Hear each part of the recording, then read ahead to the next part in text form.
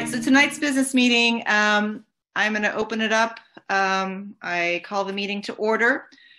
Uh, Eliza is our secretary, but she's not with us, so I'm going to read the minutes from the 2019 meeting, which was a very short meeting. And then I'll have Chuck um, unmute and give a financial report if he's got that.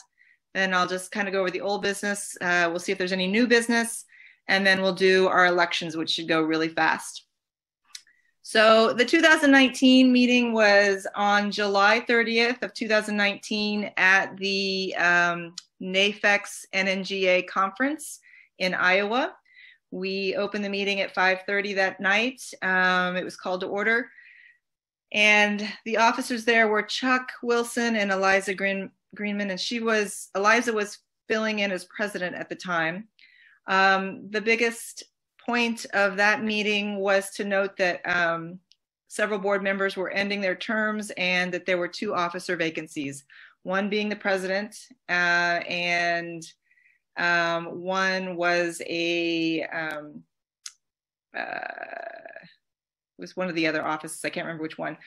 And then we also had the couple board members ending their terms. So Chuck had made a motion at that meeting to nominate um, me from the general membership to be on the board and then to be considered to be board president or be the president. Um, I accepted the nomination to be on the board. That motion was seconded and passed. The board um, later convened to um, elect me as president. Um, that did not happen at the general meeting, but that happened in August. So um, after that, the meeting was adjourned, and those are the minutes. So what I need uh, tonight is uh, we follow Robert's Rules of Order. So I need someone to unmute and um, motion that we accept the minutes and someone to second it, and then we'll take a vote. So you all can unmute yourselves. Move that we accept the minutes. All right. Yeah, and that's Bill, right? Yes. Okay. Yeah, when you guys motion and second, if you can give me your names because I can't see everybody. No. Do I have a second? Chuck. Chuck, all right. All right, so all those in favor of, of accepting the 2019 minutes, say aye. Aye. Aye. Aye. Anyone opposed? Aye. All right, motion carries.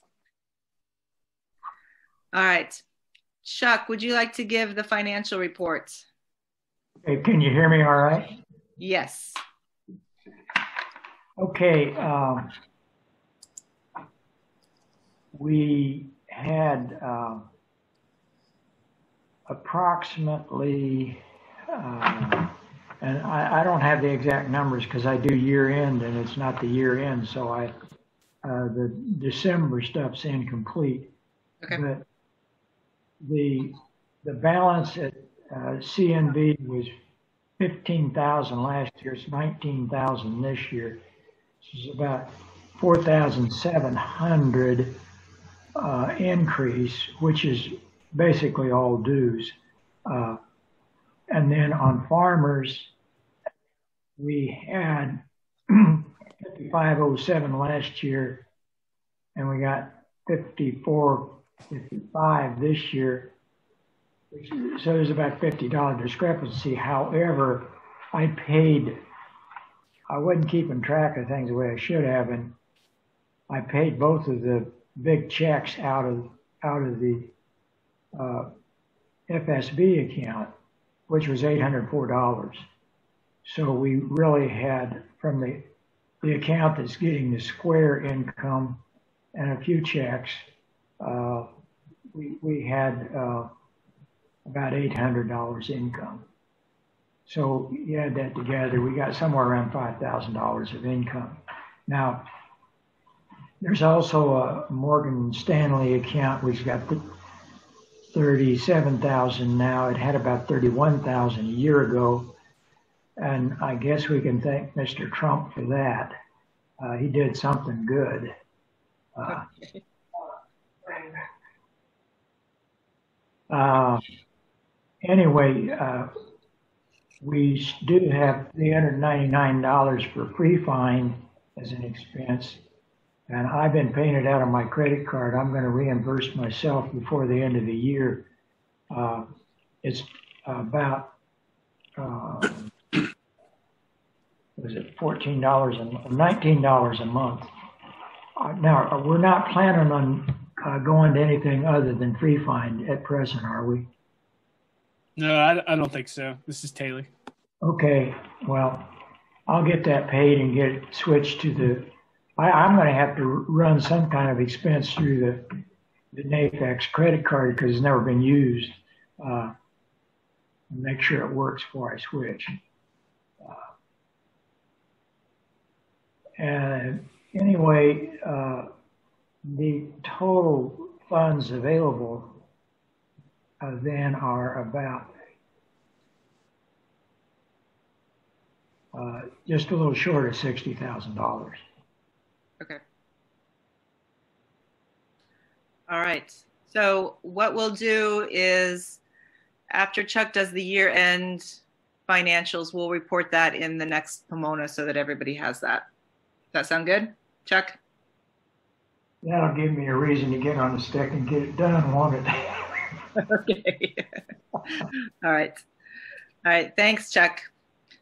All right. Uh, old business. So, um, since August of 2019, there were two big pieces of old business that we focused on. I mentioned this last week. One was to bring back the printed Pomona because we felt after talking to people that that was one of the reasons why we lost a lot of members um, over a period of time. I don't, I personally don't remember when the printed Pomona stopped, um, but we started it back up again last year around this time and we have seen an increase in membership of about 20% since then. So I'm taking that as a good sign. Um, and we've had we've had about 25 to 30% of of members requesting the printed Pomona. So we're only printing it for those that want it mailed to them, which is different than how NAFEX used to do it. NAFEX and most groups used to print their quarterlies and send it to everybody, whether they wanted it by mail or not because back in the day, you know, there was no internet. So now with the internet, we have some folks wanting it digitally only and others that want the printed version. So we're only printing it and mailing it to those requesting the printed Pomona. And so the expenses are much less than what they used to be for that. Plus, we've had some people step up and make um, either donations or they have um, uh, we've had a couple people print put ads in the Pomona to help cover expenses. So that's been a plus. We brought the website up to date. That was old business. That was that was a huge issue last year, and thanks to Eric and Taylor, that is now running the way it should be and um, being kept up to date. So, unless I'm missing anything, does anyone have any old business that I am not covering?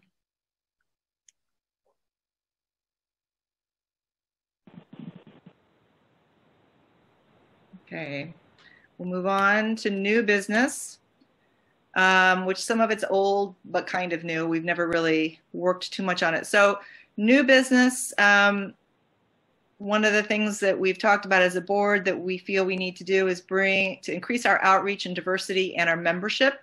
Um, we have not had a membership chairperson uh, since I've come on the board, and I don't know who that person was prior to us, but I've been covering membership along with Chuck. Um, tonight we will vote for a membership a membership chair, and I know several people have stepped up to uh, that, so that's a good sign. Um, we've had some discussions about assessing our interest group lists, and I've had some emails from people who are wanting to help with that. And then in preparation for this meeting, I reviewed our bylaws and um, I've noticed some things that are out to out of date or need to be fixed. Um, mainly, there are committees listed for which I don't think we've had for quite a while. Um, so the new board, once we have the new board members joining us, the new board will convene early next year to kind of go through the bylaws and figure out what we need to amend um, or if we need to bring back some committees or try to bring back some committees that are there.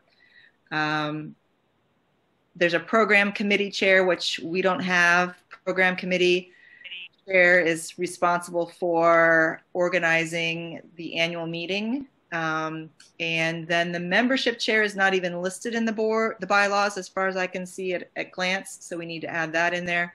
So there's just some little tweaks that need to happen, but that's the new business that um, I think we need to address.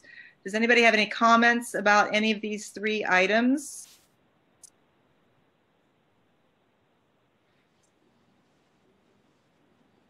I don't know if Barbara's on the call, but she's the one most familiar with the bylaws. I think she was the one who helped amend them the last time. And I don't know if Uh, Taylor. Bill, Bill Grimes and Barbara Rossholt did that together. Okay. All right. And so that most recent revision was in 2017. It was printed in the spring Pomona. And if it's not, if the bylaws are not on the website, then I will work with Eric and Taylor to get those up on the website so that they're they can be viewed by all members. Yeah, they. I have not seen them on the website. This is Barbara Rossholt. Uh, but I have seen them in the Pomona, and if you're a member, you can search the old Pomonas to the 2017 April or spring Pomona rather, and and you'll see them uh, at the end of that Pomona. Okay. Thank you. All right, and then the other new business, which we really can't do anything about until we know more about COVID, is the 2021 conference. Um, because the 2020 conference was in-person conference was canceled, we were supposed to do that with the California Rare Fruit Growers Association in August of this past year. The board voted and agreed to just postpone that and do that conference with the California Rare Fruit Growers next year um, assuming that we can meet in person. But until we know how the vaccine's going to go and how travel is going to go, um, we probably can't really do much about that until we know more. Bill, do you have any any thoughts on what's going on with that? Uh, no, I've heard no updates. As far as I know, it's still still scheduled, but you know, here again, it's depending. Right, and I, I assume still in Santa Rosa. Yes, ma'am. Okay, all right. So as we know more, then the board will address this.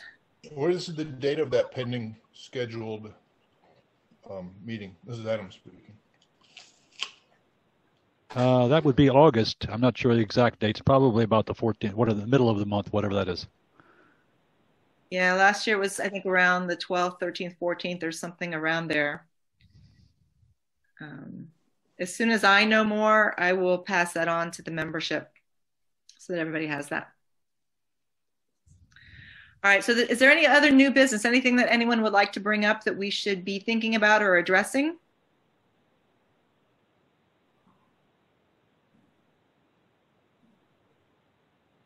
I uh, just checked the website. We do have 699 current members. I don't know if that was mentioned earlier, but so that's actually users.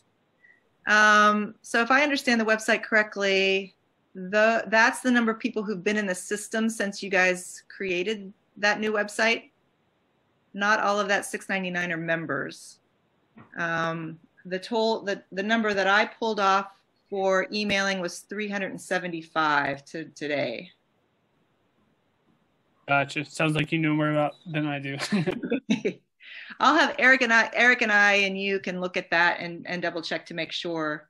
Um, but there's a user section and there's a member members number, and they're they're two widely different things. And I think I think that 699 is the number of people who have been in there, um, have been a member since the new website came out, but they're not all current members at the moment. So, but we'll check that and verify that.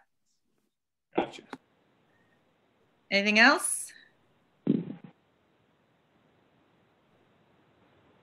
All right. So elections. Um, Barbara had put together a wonderful printed up uh, nominating committee report. Uh, she and Bill worked on this, and I think Chuck may have had uh, some input perhaps. Um, but we need to replace, we have four board members moving off the board, and thankfully they found four um, great people who are wanting to be on the board, willing to serve. four here, we had them talk last week and introduce themselves. Um, I believe they are all on the call this evening. Um, and we aimed to try and find people that covered as much of North America as possible from different areas. And I think this is really good that we've got people from from uh, different parts of the country. Um, I think we had hoped to get somebody from Canada, but we haven't been able to get somebody with that. But we could still add somebody.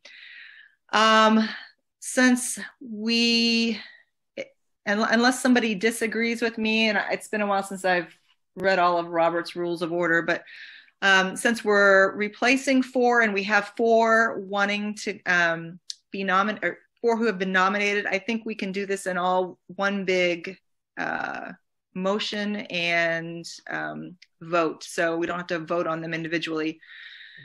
So I, what I would like is somebody who can make a motion to accept all four nominees and someone who would second it, and then we can take the vote. But if there's um, any discussion or anyone from the membership here on the call that wants to be considered, feel free to please comment before we have a motion. I move that we accept all of them.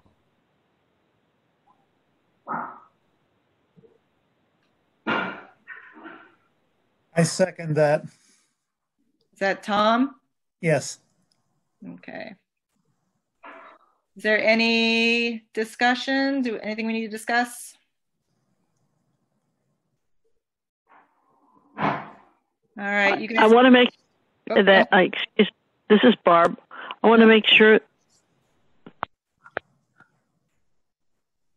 Well, Barb, we went lost you. I wanted to make sure that Jorge's uh, name was spelled correctly for to his satisfaction. Uh, did you work that out with him? I got an email from him, but I have not double checked the spelling. So we'll. Uh, is he on? Jorge, are you on the call? Yes, I'm on the call. Thank you so much. Okay, is it J O R G E J dot Zaldivar Z A L D I V A R? Correct. I just sent a message to to Chris over the chat, and it, it all looks good. But since this is for a motion, um, it might be good for the secretary to have it um, written. Yeah, the the uh, it should be that the the the, the thing that I wrote has that in that way, so you should you should be good. Okay. Yeah, I'll make sure that's all correct in the minutes. Okay, thank you. Thanks, Barb. All right, so we have a I'm sending you motion. I'm sending you the email of what you asked for, so you can follow along on the presentation. Uh, I, yeah, I cannot access that email at the moment. Oh, oh, I know what you're saying. Jorge, you're saying that you sent an email to Barb? Correct. Okay, good. All right. All right, so we have a motion to accept all four nominees and someone who seconded it. Um, you all can unmute. Everyone who is in favor, please say aye. Aye. Uh, Aye. Is there anyone who opposes? All right, motion carries. All right, the last part of the elections, uh, the nominating committee, board of directors, for board of directors, um, Barbara has um, stepped up to uh, be nominated for the vacant membership chair. Is there any other nominations from the floor for this?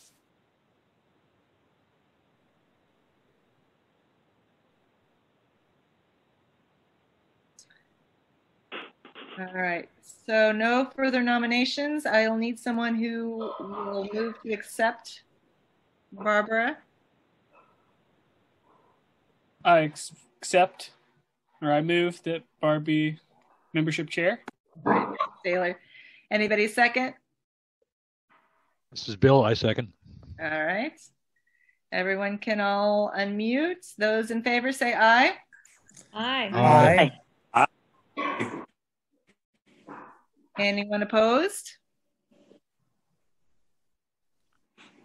All right, motion carries. Can we have a round of applause for our new board members and uh, those serving still? Hey. All right, thank you guys.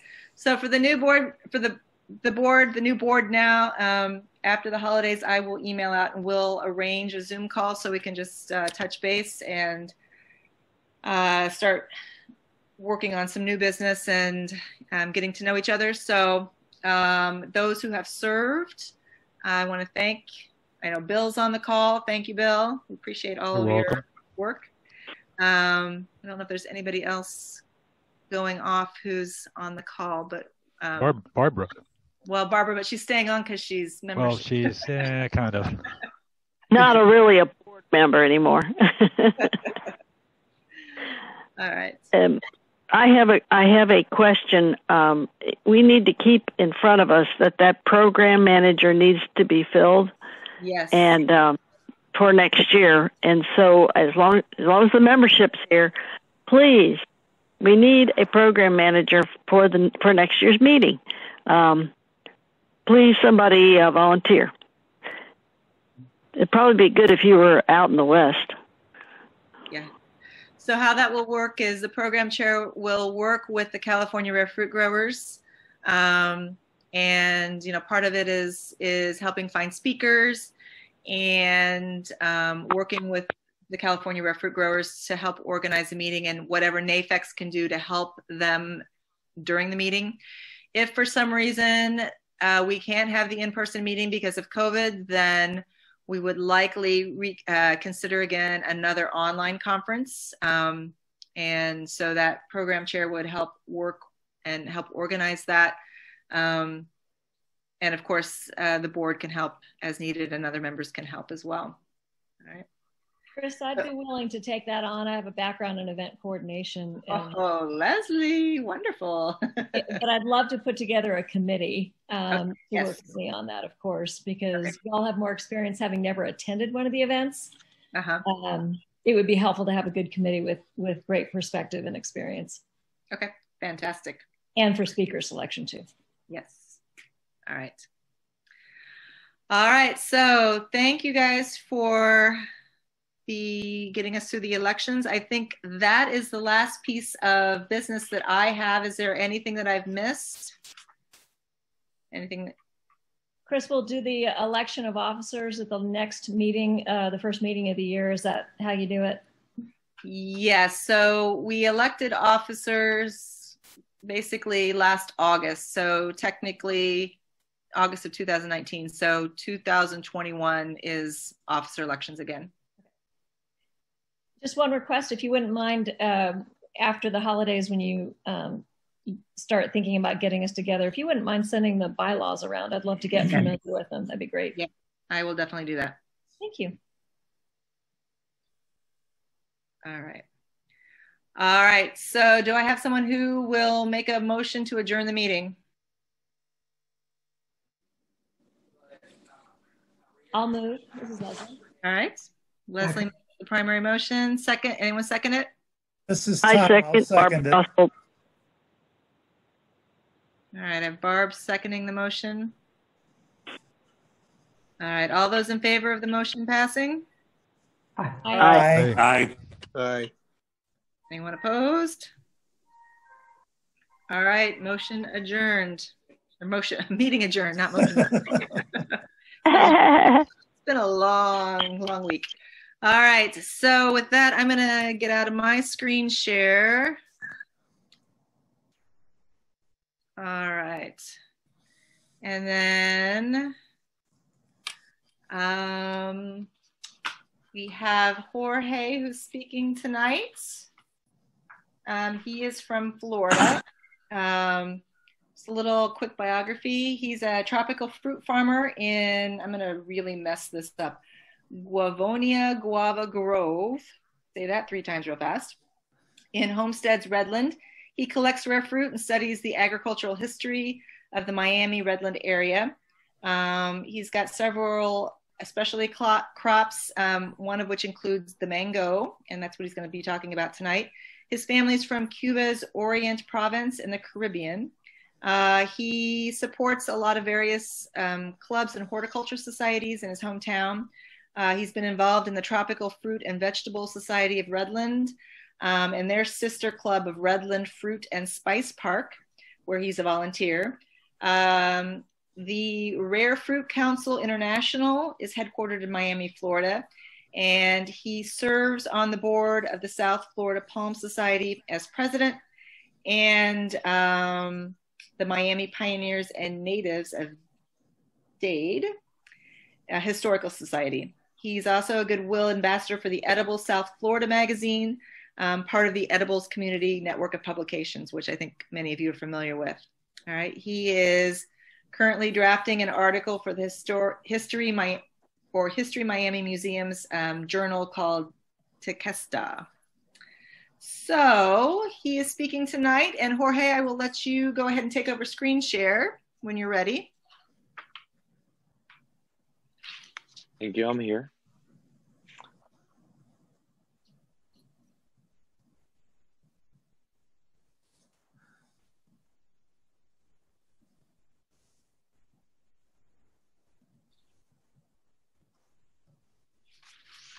Jorge, I can hear you.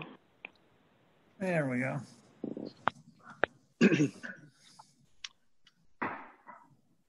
Okay, thank you so much. I'm you know happy to present this to an audience outside of of Florida, which is usually where where I'm giving this you know this this interesting information. but it's deserving of of being compared to some of the work that you all do with the search for cultivars and the perfection of methods and I was greatly assisted by Alex Salazar, who is an expert, much like a lot of us here that dedicate a lot of time to uh, just, you know, odds and ends of the topics that people overlook. And he's a, he's a great asset for helping identify things. And you'll see how the story kind of starts winding in a circle. And this is a selection of mangoes that we were able to harvest at the USDA um, ARS. So I know you all are familiar with the stations around the country, and we're lucky to have uh, the station that has the more uh, tropical crops and the specialty crops that are a backbone of our industry here of agriculture. The Anacardiaceae family is the same family as poison ivy, and the species is indica that we're focusing on of the Mangifera genus. And like all botany, um, it just goes more and more with all the wild species and the stories that we start finding out. So you'll be seeing a lot of history. Some of it I'll, I'll go through rather quick because a lot of it is very uh, romantic for the area but for for you all, I definitely want to give a grasp of of the greater the greater project going on. There's a gentleman by the name of Henry Perrine. Dr. Perrine was notably doing phenomenal work in the mid 1800s, and he he really beat everyone in terms of introducing a lot of these tropical fruits, such as the the key lime, and the mango. and there's just a famous story of him how the the Indians weren't happy with what he was doing in the Florida Keys, and the Florida Keys is the southernmost um, islands of the country, and they're just below Florida. Some of you might be familiar with them. And he established a little grove on one of those islands, and unfortunately, he was massacred. And outwent his collection and outwent the some of the some of the first explorations of fruit to bring things into Florida. Um, the Indians were very keen on killing all of his trees as well. That's how much they they didn't like what he was doing. so between that time and the late 1800s, we see that there's an increase in people seeking out mango seeds. This wasn't this wasn't focused on on grafted plants yet. And everyone was seeking any material that they can get their hands on. And just for the record, there, I, I live in Miami, which is South Florida, all the way down at the south. And our incorporation as a city is 1886.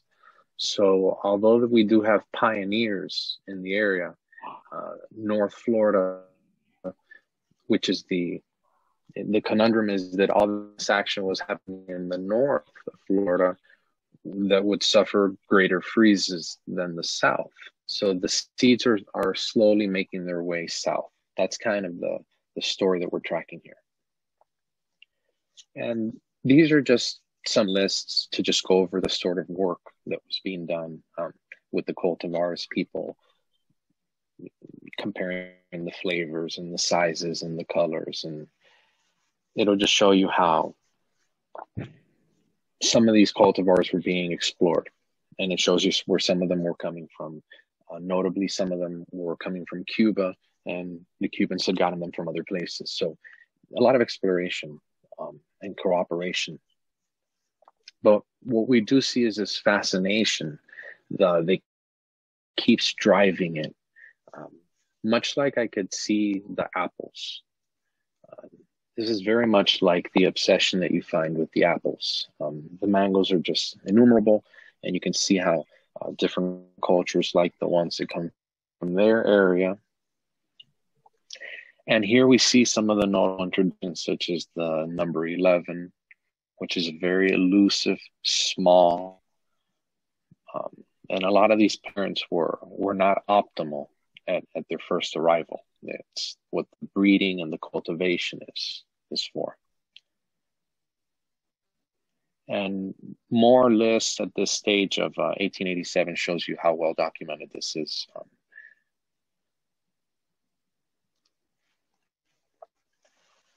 and all of these notable papers, I'm not, we're not going to just read them all together. I just encourage you all to go to them on your own and pick out the things that you want to see. But um, the more you study the story, the more that you see that um, the years and sometimes the people they kind of bend a little, little bit. And since you all aren't from Florida for the most part, I feel a little more comfortable not focusing so much on the exact location of things, but more of the overall um, project that was occurring. Um, all the people working together. Um, all of these years and plants, you'll see them at a, in another slide where we can just go through them. But here you'll see some of the more notable growers in Florida's history, like uh, Pliny Reasoner, who of the Reasoner nurseries. They're legendary in introducing uh, an insurmountable number of crops through their nursery catalog. And that's where a lot of this um, historical research goes through. You try to find who introduced what, when did they bring it in. And here they are like we mentioned, Dr. Perrine. And then we have a few people in the mid 1800s sourcing seeds from Cuba, Jamaica.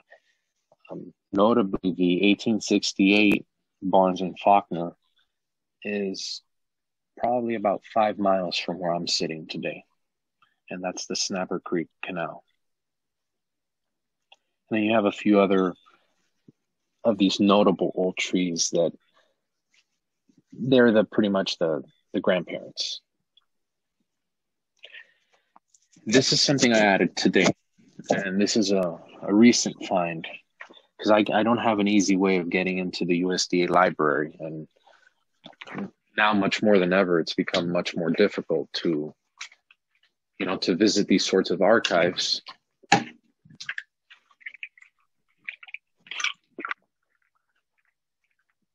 This document is important because it's written by Wester. And Wester, Wester is important because he worked over here and down in Miami with um, Simmonds. And you'll hear a little bit about Simmonds later. Simmonds was uh, Dr. Fairchild's go-to guy. Uh, he has an avocado named after himself, the Simmonds, and a mango, the Edward, and it just shows you how the the cult cultivars start revealing the story of who was doing what. Um, essentially, I'm honored to be doing pretty much similar work um, as Wester right now. He's just documenting things how he saw it in 1917. And now I'm tasked with trying to put all that together and see, you know, what sort of communication they had that was successful. And this is actually a photo taken by Dr. Fairchild, presumably of one of the original mango trees that Gale had over in um, in the center of Florida. And this is supposedly one of the first parents of pretty much all the mangoes that originated from that string. And this goes pretty much it goes down to the the famous Haden, and we'll see how that occurs.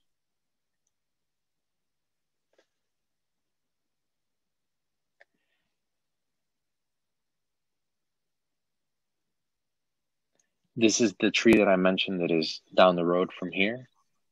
And this tree is no longer there. I think it died in 1992, the famous Hurricane Andrew.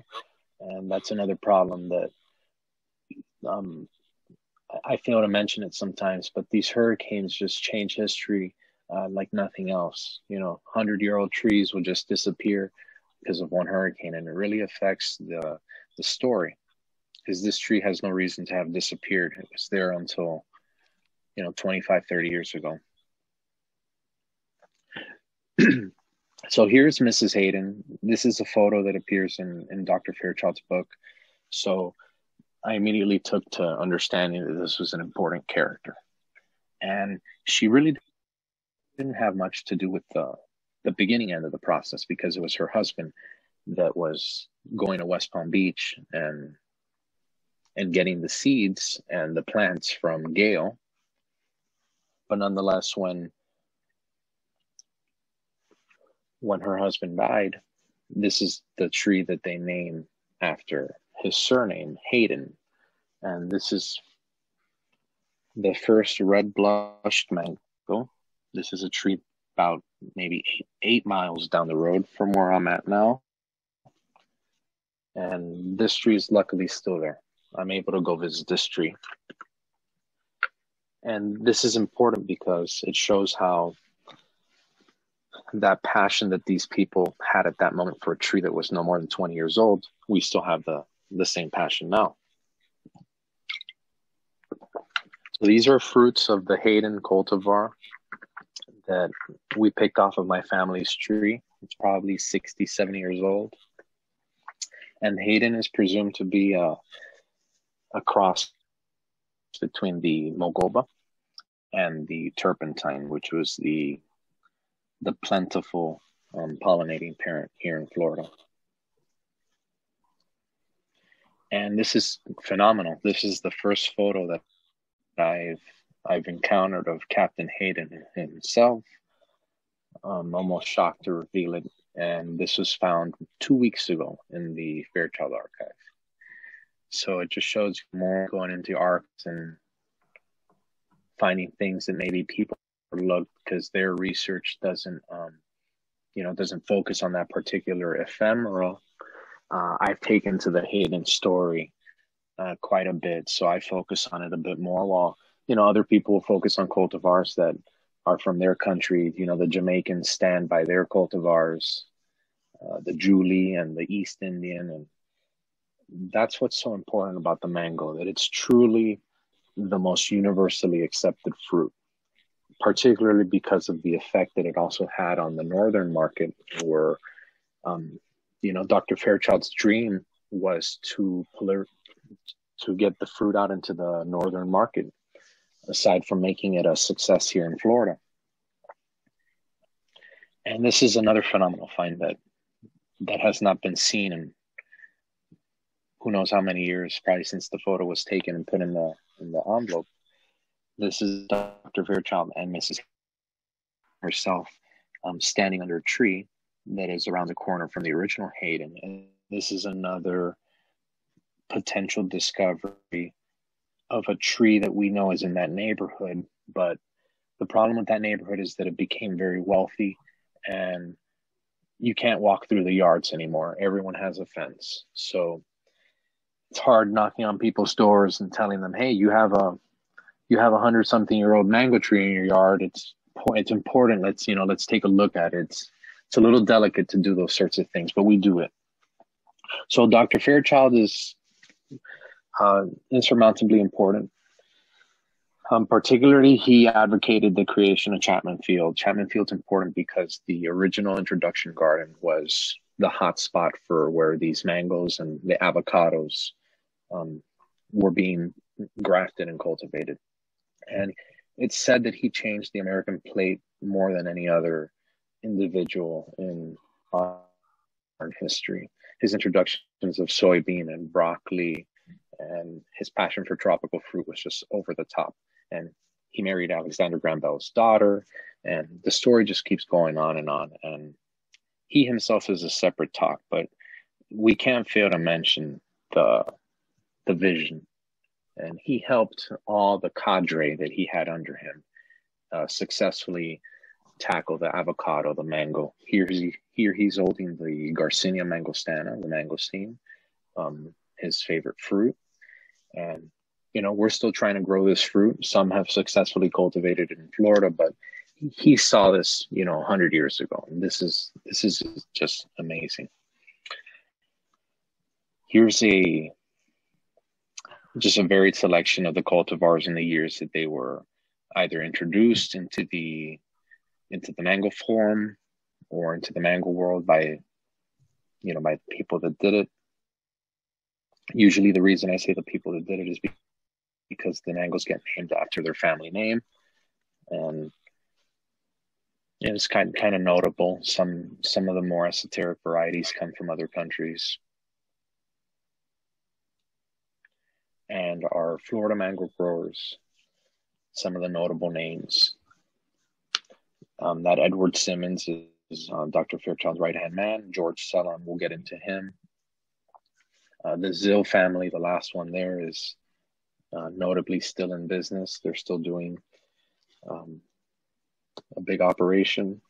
The David Sturrock, that's where Alex Salazar works. Uh, it's Sturrock Groves, but it's Tropical Acres Farms. And that's still a property that is vintage and some of the original trees are at that property. This is just a highlight um, slide, especially here in, in Miami and here in Florida. These these slides, there's people usually from the area of where this is occurring, so it really ignites some conversation. Um, a notable early mango grower. This is one of the earliest mango growers in in the Miami area. We're going to skip over him just a bit quickly, and as the slides are passed, people that get the video can can pause and look at it or seek out the original info. But this is just a story about um, Mabel Dorn, who was eminently close to um, Dr. Fairchild. She was an advocate of the Victory Gardens, and she promoted the vegetables and all the crazy tropical crops, but they were mango farmers and they lost their their home to a highway. And this is just some coverage from the newspaper that I got about them, but this is the highway going through what would be their old mango grove. So we essentially lost our first commercial mango grove in the 60s. So just, you know, that's the perspective I take. and here it is. Um, she's pretty much talking about some of the first trees that she got from Simmonds. The, the name is misspelled, um, journalistic error there, but just shows you how there was just no one in Miami to talk to about mangoes. So these people had no other choice but to work together. Edward Simmonds is here working at um, the previous garden was in Brickell. Here's at Chapman Field. So this is just going into detail about how he's working with Dr. Fairchild. Um, you'll even see there's a mention of Dr. or Mr. Wilson Popenoe, um, eminently important um, explorer of the times. Wilson Popenoe is arguably one of the the legends out there. But here, coming back to Miami, which is my hometown, um, comes this guy George Cellon, and George Cellon hit he hit the he hit the airwaves with like a number one hit. That's the best way to compare it. And Dr. Fairchild goes down in in history saying um, that he was the first person to patch bud the avocado. And through mastering the avocado, he also mastered the mango. And they were doing an insurmountable amount of, of quantity of, of nursery crops at an early um, uh, stage, pretty, pretty much at 1900. They were taking orders of hundreds of plants, sending them to Cuba, the Caribbean islands. Um, and Cellon had pretty much 40 years to create a, um, a nursery. And like I said, he's the first person to patch bud the avocado. So his crops were loquat, uh, avocado, and mango.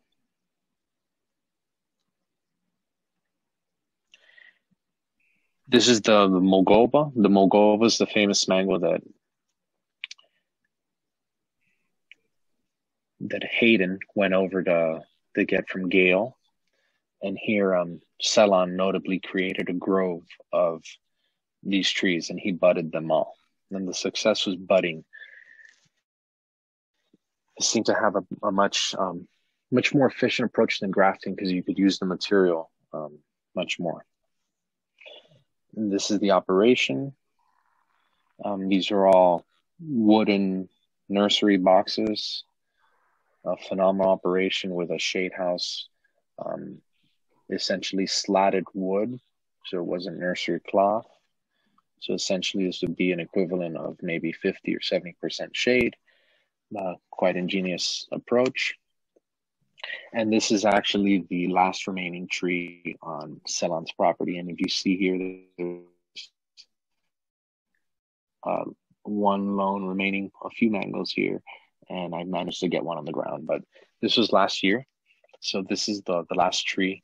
Um, the property is a church. Luckily, the priest um, that has been there for maybe thirty some forty years, he recalls, you know, his first dates on the property that it was it had a, a lot more mango trees, and this is presumably a, a mulgoba, and this is the the fruit from Cellon's own tree. So it was quite a you know, mini adventure to be able to retrace these stories and go see one of his original trees. That's the home. It's still standing. It's one of, um, at the present, the oldest concrete structure, or one of the oldest concrete structures in the city. Here it stands. I believe, um, I believe it's an office, or it served as a rectory for the for the priests it's very important that we trace the story really quick, that we we make the connection between Fairchild and Cellon. And first, Dr. Fairchild, um, he praises um, for his, you know, for his talent budding and grafting plants. And I believe the Trapp is a cultivar that originates here in Coconut Grove. So they were seeking material from their local area. But here's a story that's very important. It's quite funny. Uh, there's a famous mango that Fairchild uh, collected with his one of his main benefactors was Barbour Lathrop, paid for a lot of his voyages around the world. Um, you know, Fairchild notably went. He took trips around the world uh, prior to the invention of the airplane.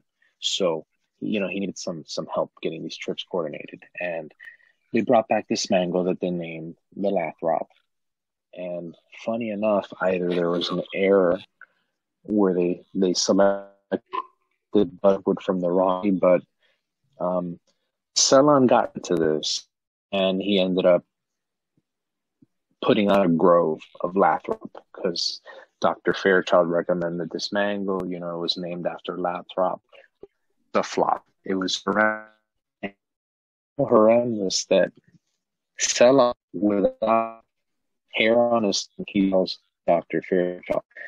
So you know, so your Dr. Fairchild sent me a Lathrop you know, he pretty much told him it was horrible and that he took out all the. And it's quite funny that, you know, even even Dr. Fairchild, the famed fruit explorer, you know, brought back something that wasn't necessarily the best.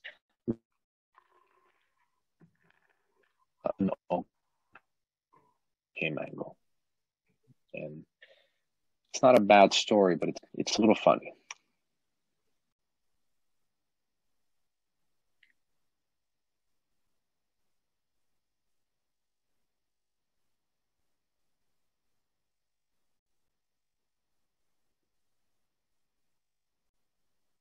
Okay, is it up? Yes. Yep. Okay, we're here at George Cellon. How's that there? Yep. That's great. Okay, so we were at George Cellon. How uh, Dr. Fairchild is, you know, Dr. Fairchild praised him at the end of his life, and they went through all that, but he he managed a great operation. There's probably a model operation for for other nurserymen in the area. And here you have a selection of what he was doing. Um, he would produce a catalog every so many years. And this is mainly a mail order catalog. He was really trying to sell plants everywhere.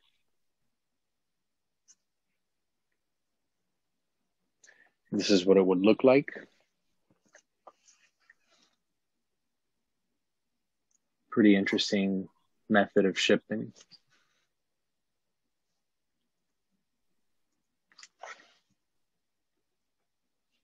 And here we go on to a little bit of more modern times. So just go through this quick. Well, um, Bill Whitman is one of the founders of this organization, the Fruit Council, and his wife, for instance, got a mango named after her. And those cultivars go through the hands of, you know, many people to decide how it gets named. And the, the whole process is very involved. It just shows a lot of community. Um, he devoted a lot of time to collecting tropical fruits. This is a greenhouse where he's growing um, well they're growing at fairchild garden the mangosteen and they're growing other tropicals in there. Um, the botanic garden notably has a germplasm at that farm uh, the Williams Grove, they maintain a, a, large germplasm of hundreds of cultivars. This is another person um, from the organization, a more modern um, explorer, and he's introduced um, notably some of the top cultivars have gone through uh, Maurice's hands, and he notably went to Burma and brought in a, an extraordinary amount of material from Burma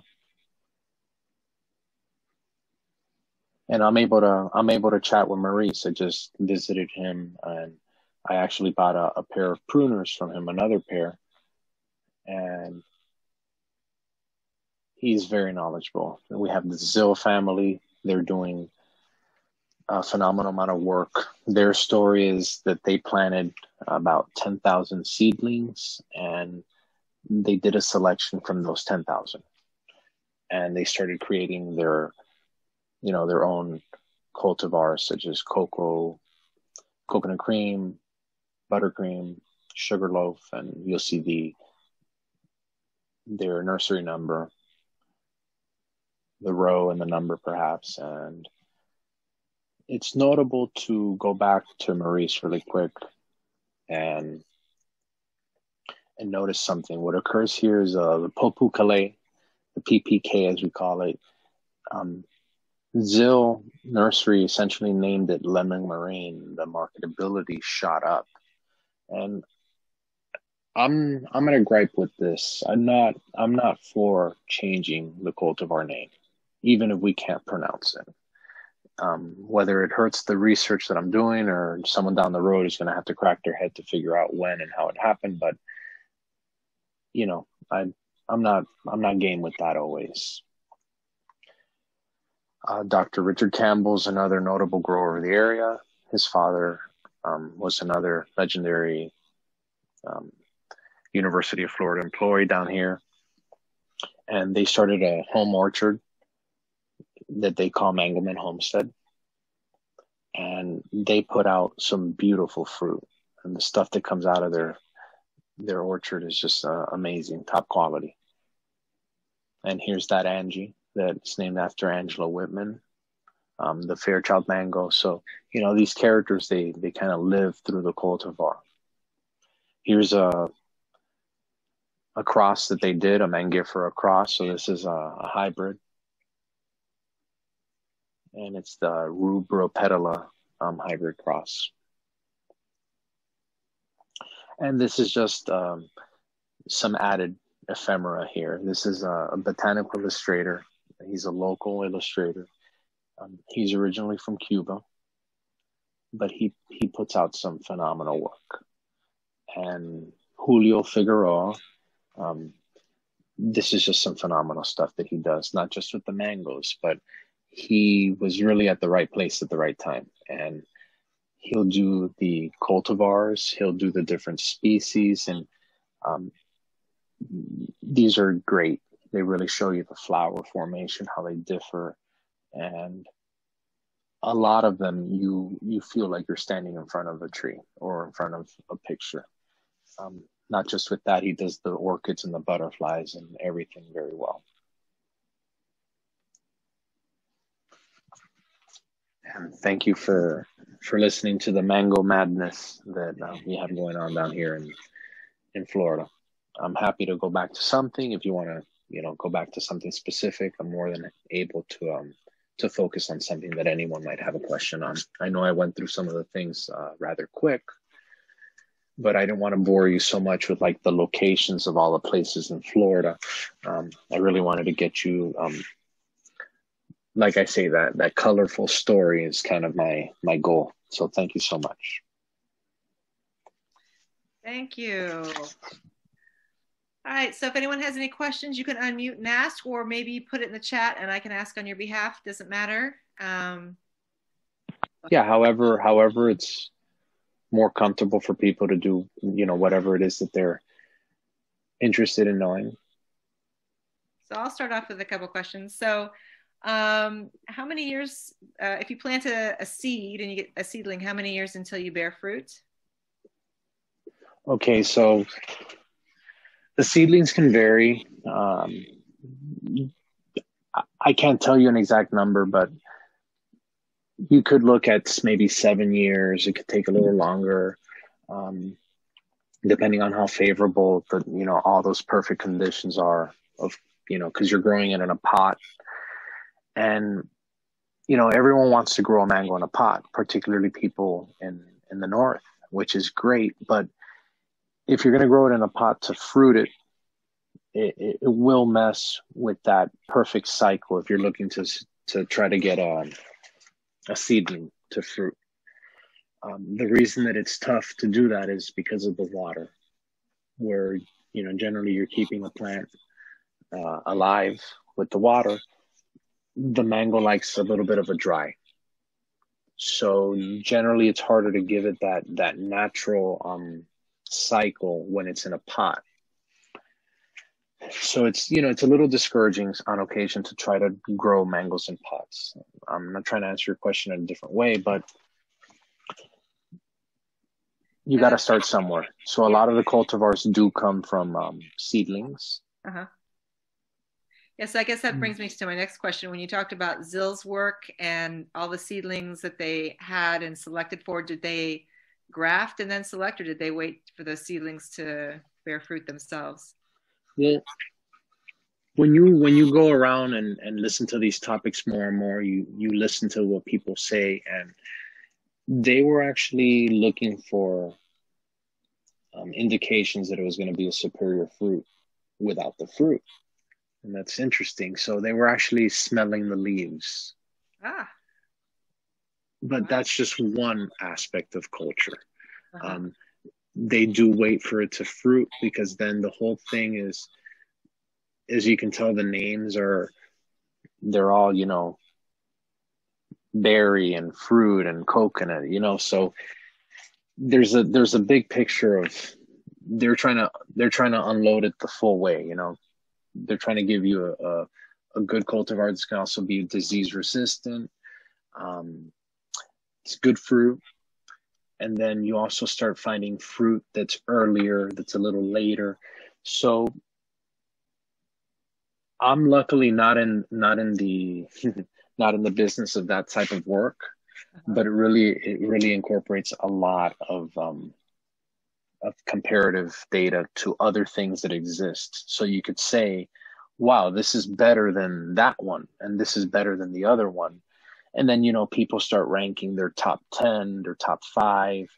Um, but it gets to a point that with hundreds and hundreds of these cultivars, you start realizing that sometimes it's better to have a favorite early mango and then a favorite late mango. And um, there's just a lot of genetic diversity. And just to round off that question, um, the USDA is working with the the SNP, which is the DNA uh, data, and they're actually discovering that cultivars in different germplasm are differing with the DNA match. So it's a little bit of a cultivar drift within. Yeah, it's pretty interesting. So Great. So we have a question in the chat. Um, what's the farthest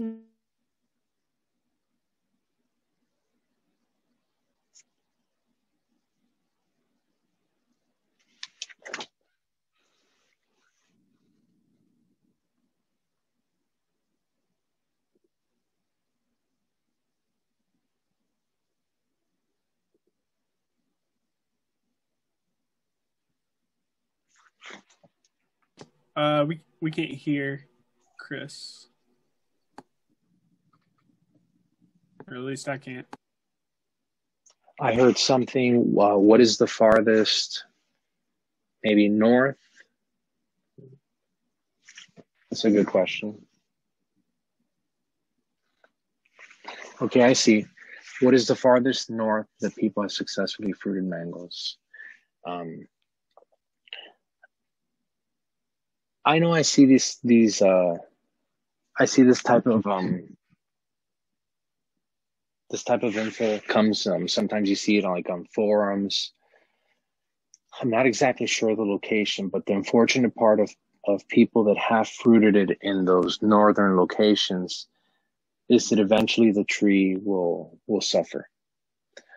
The good thing about that is that um on a lot of occasions the trees will come back.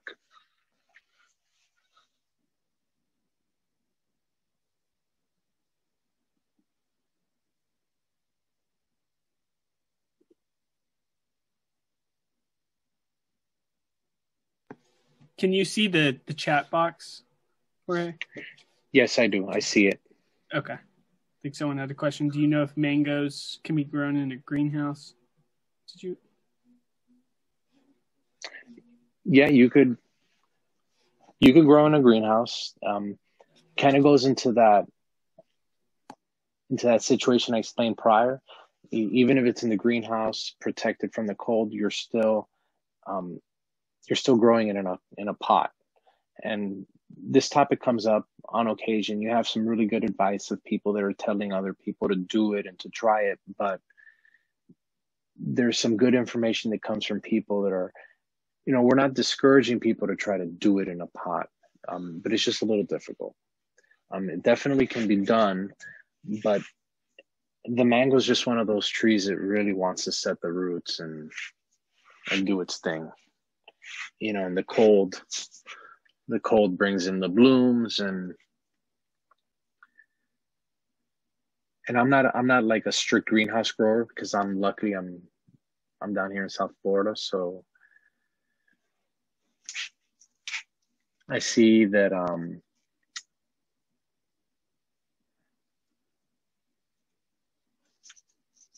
for quality fruit and plant health. I I can reference all this sort of material from charts and things that I have. I have a lot of data available.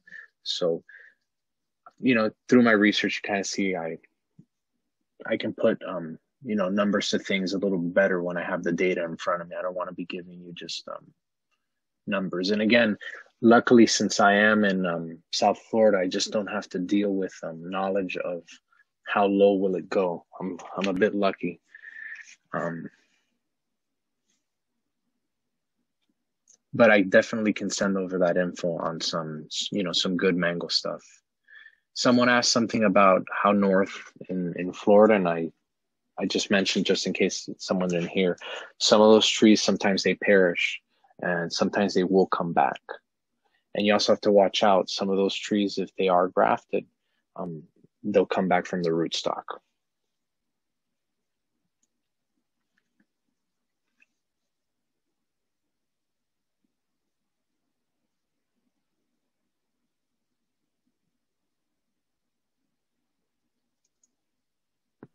Hey, Chris. Is anyone is anyone here growing mango? Chris, you're muted. I saw you talking. I think. I'm Hey. not growing mango. Cool. So I don't know. If, I I got lost on one of my computers, um, and I'm back on. I don't know if this was answered, but Chris asked what uh, are typical minimum lows for quality fruit and plant health.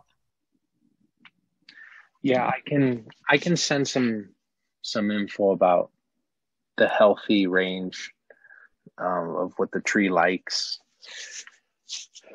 Um, I guess it kind of shows you where I'm focusing my my research. I'm a lot more interested in the in the research of things than the than that's that overall culture because I am in an area where you know we we planted and the mango will, will definitely not die from a freeze down here in, in Miami because we barely get them but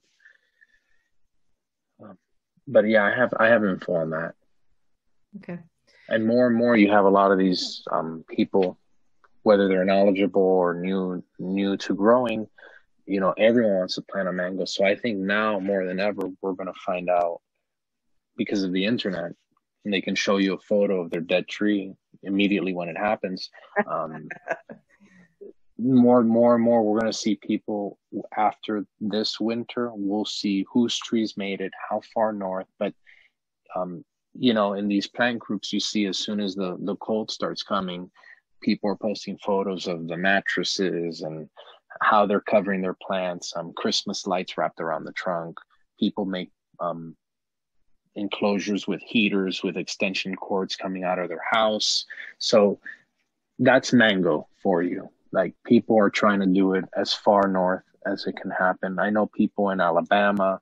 I know people in the virginia area growing them um, so you do have some of this area um, on the east coast new orleans for instance uh, they're doing it louisiana so there's people brave out there I was going to say, I know there's somebody here in Indiana who is, I think, growing in a greenhouse. Um, he, he grows a lot of tropic, tropical fruit, including bananas. Um, and that somebody, Chris also asked, uh, any hardy relatives that we northern folks should look into as minimally heated greenhouse crops? Yeah, I think the not necessarily um, hardy relatives. They mean relatives in in, in that genera, or um, I think the Myrtaceae family has some some interesting genera, uh, like Eugenia. The Eugenia genus is is excellent for for greenhouse. Um, they've got a, a, variety of fruits in there, a lot of little berry type stuff. Um, this is the guava genus. That's why I'm mentioning it, um, or the guava family. Um, but as far as minimally heated, that makes it a little difficult because it's hard to gauge what will happen. But um, you know, I think um, you know, we love the plants enough that once you get it, you're going to do as much as you can to protect it. So maybe I can encourage you to get a little bit more zone bending, but um, yeah, I, I would also encourage you um, for pot culture, you could look into um into some of the Annonaceae, um, specifically the um the Annona squamosa, the sugar apple. Um, these are delicate plants, but the reason I'm recommending them is because if you do take care of them, you can fruit them in a container. That would be more of what I would what I would try to recommend for you to grow something you can actually fruit in a container. Um, the mango is more of an obstacle. So um, between the Annonaceae and the Myrtaceae, um, guava, for instance, would be uh, another choice. I would highly recommend guava. They can take the temperature well, and you can fruit in a pot. And if you're into that flavor, you look into the genus Psidium, and there's a bunch of other species in that genus. If you maybe you end up liking uh, the leaves, you end up liking how they grow, and you know you start surfing that genus and you start finding a bunch of these other species that are you know that you might like. Either the plant you might like the fruit but these are deserving of pot culture definitely. And if you want to get crazy um you can do some some garcinia as well just because they're really pretty plants but they're delicate Great. Are there any other questions for Jorge? I see here Chris wrote about uh yes to Eugenia, so uh, I see you know he sees the direction I'm pushing, so good.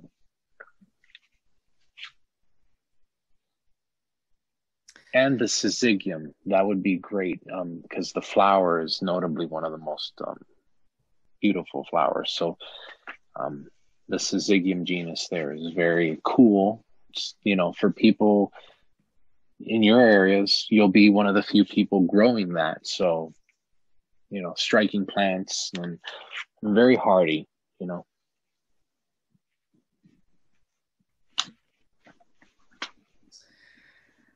All right. Um, thank you again, Jorge. And somebody brought up a question about seeing the presentation. So, the link that I put up for last week's apparently um, it's requesting my username and passphrase, so I need to redo that. So give me a day or two to um, get a public link from IU. I thought it, I thought what I put up was public, but apparently not. So I will get that fixed, and then I'll also um, get this one um, up as well in a couple of days. Um, lots of people love the talk, and um, at this point, if you guys have anything you want to ask in general to each other or any comments, go ahead and unmute or ask or put it in the chat. Um, but this is a time for you guys to chat with each other and ask any questions or throw anything out there that you'd like. Um, I have one question about the presentation. I I uh, was following along with the uh, down with the uh, information that Zal, Mr. Zaldivar sent out. Unfortunately, it didn't. It doesn't load real well on my slow computer here. Is there a way to get the uh, slide deck uh, downloaded so I can just get it downloaded and and look at it in my PDF? Yeah, you go to that file that I sent you, and yes. you can go to the, you can go to the top and try to look for where it says file or actually, it should be on the right side. Um, okay. Be some dots. There might be three dots. You click there, and then it'll give you a download option. And okay. I, I have that open for you now. Okay. Thank you very much. Yeah, it's Yeah, an interesting is- document, and and I tried putting the actual documents I used for research um, specifically for people like you that could just sit down and, you know, it's it's some pretty good stuff. Yeah, this is Tom. Uh, Just a comment. My cousin and her husband live on Merritt Island, and a number of years ago, they started trying to grow mangoes there. Yeah, that's a that's a great area. There's history around that area. I I don't know the the history as much of the of the area north of me because I feel like people are are custodian of their area a little better, but they have some great microclimate there. Um, they're growing all sorts of stuff in that area. You know, we're very lucky in Florida because we get motivation from the north to the south. You know, we're we're pushing things that no one else in the country is doing, and we're even impressing ourselves. So, um, and then I'm completely jealous of all the stuff you guys get to eat. like, you know, most of this stuff doesn't ship well either. Our rare stuff doesn't ship. Your good stuff will turn to mush. You know, we've got tons of great edible stuff that just doesn't do well in the mail. Yeah.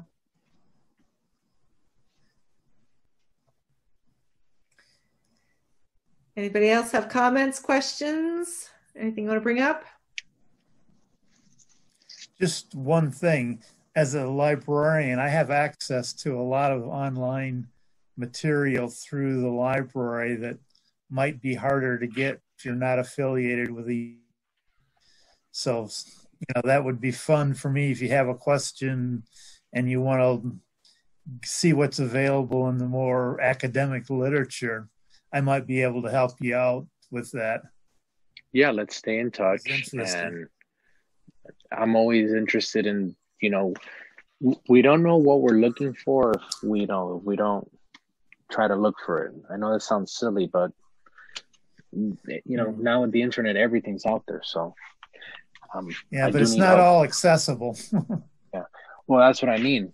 Yeah, uh, it's all out there. We just don't know where it is because yeah, now that now that everything's accessible somehow, some way, um, you know, we got to go through the gatekeepers and we got to find the the paper, and then a lot of the stuff you if you don't do it on an instance, like Tom, if I'm not communicating with you when I find these things, uh, we might forget. It might be five years down the road, and then you think of that paper. So, um, you could see a lot. A lot of that research was just, um, you know, a lot of cut and paste. But I try not to when I find like a photo of Haden, and I'm with Salazar in the room and we look at each other and we say, Had you ever seen a photo of Haden before? And he tells me, No, like, you know, this is like a groundbreaking moment for us. You know, it's like, okay, let's let's put this in the slides. Like not not later, now. And I'll tell you, I found that photo two weeks ago. We had no clue what the guy looked like. That's pretty Just cool. his wife. You saw the photo of his wife, very humble. That's that's what we knew. So it's interesting. You, are delving a lot into the history of the mango. Um, I just listened to Dan Bussey yesterday at, at, the American Heritage Apple Conference, and he's now going into the 16,000 cultivars that he has, varieties that he has written about in his published book, and he's now looking at the history of each and every one of them. He said he's through uh, A, B, and C.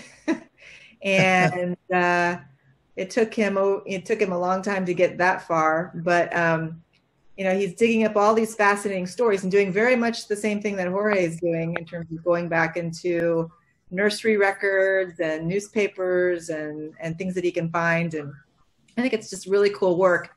And hopefully, Dan is going to share some of that with us. He um, kind of on the fly yesterday. He he said, I don't know what what prompted me to say this. He said, but um, he had said to the to the conference that he hoped that he could convince NAFEX to allow him to print an article in each Pomona about the history of, of a variety, like you know, a couple times a year. So I messaged him back and said that would be fabulous. So because somebody asked if he was going to publish all this work, he said there's no way he could. I mean, the the sixteen thousand um, varieties that he's written about is in seven volumes. And when you start going into the history, then you can imagine how many pages and volumes that would be. So it's not feasible for him to publish that as a book, but he's going to look for some inner and internet um, online options, and and NAFEX is one of those. So I thought that was pretty cool. And we have a set of those of his volumes in the library here at MSU. Yeah. Oh, it's very nice. Yeah, amazing amount of work. I mean, he's retired now, and so this is what he's doing in his retirement. And he's just having a ball. So my husband bought me a set of those books, and we donated them to our local library since our town Ellijay is the quote unquote Apple capital of Georgia. So we decided to make them available. But I had no idea there was a, a Heritage Apple conference going on. I'm in all these fruit groups and didn't hear a word about it. What what is that program? So the um, it's it's going on through the University of Idaho. They did their first one last year in person there at the University of Idaho. Um, and then they had planned to do a second in person conference until COVID hit. So now they moved it online and it's free for everybody and it's recorded. Um, if you go back through the last Pomona, um, and maybe even the one before that, I've listed all of the topics Okay. and a link that you can access. But if you just Google University of Idaho or just Google Heritage Apple Conference, um, you should be able to hit it. Um, but they're all recorded. So I think they've got they've done five. They're doing one a month. Um, yesterday's was the uh, was the fifth talk, and there's there's going to be at least three more. So Great. Okay, that's great to know. I'm sorry, I was I looked at the Pomona and must have scanned and and missed it. So thanks. Yeah. Yep, it's in there. So, um, and, it, and if you can't, like I said, if you can't catch it live, then they've got it recorded. Okay, So. great. Any other thoughts, comments, questions?